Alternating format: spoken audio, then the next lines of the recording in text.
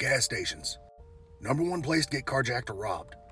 I'm going to give you some safety tips, but more importantly, I'm going to tell you how to turn off that stupid commercial on the gas pump. Don't leave your vehicle running. It's against the law in my state, but still. Key fob in your pocket, not in the car. Especially if you keep your pepper spray attached to it. If you don't have pepper spray, go to my Amazon store and get some. Bad guys look for you being distracted, catch you slipping. Keep your phone in your pocket. Poor man's vehicle GPS. Buy some Apple AirTags and hide multiple in your vehicle. If they steal your car, yeah, they'll get an alert, but they'll only be looking for one AirTag. Be especially vigilant on gas stations that are close to highway exits, getaway avenues. There's a reason why cops call them stop and robs.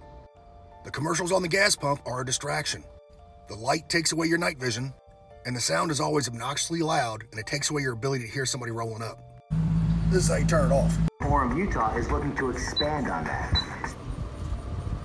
It's that easy. Or if you want to turn it back on, Activities specifically pepper spray links in the bio.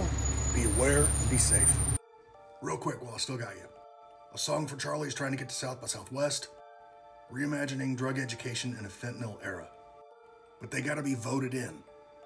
If you could do me a solid and go to that website, click on the proposed panel and then click upvote.